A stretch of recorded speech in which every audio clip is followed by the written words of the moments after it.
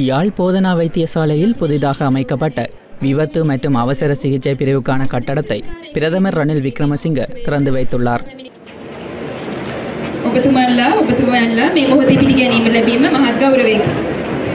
I kindly invite staff of the teaching hospital Jaffna to honor this guest in a traditional way.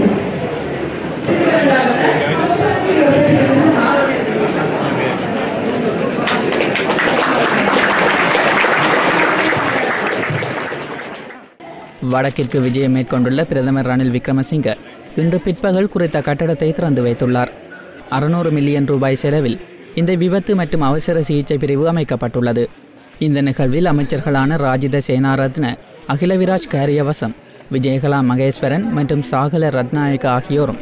நாடாளுமன்ற உறுப்பினர்களான மாவை சேனாதிராஜா சுமந்திரன் சித்தார்த்தன் சரவணபவன் ஆகியோரும் கலந்து கொண்டனர்.